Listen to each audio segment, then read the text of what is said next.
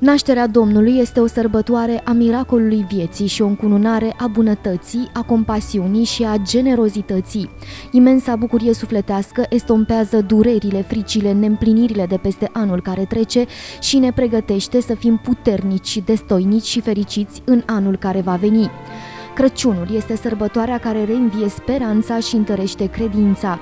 Vă doresc tuturor ca nașterea Domnului să vă lumineze sufletele și casa, să aveți parte de la mic la mare, de belșug, voie bună și sănătate. Să ne bucurăm împreună de această mare sărbătoare a Crăciunului ca de un nou început și să rămână vie puterea noastră de a iubi și de a ierta.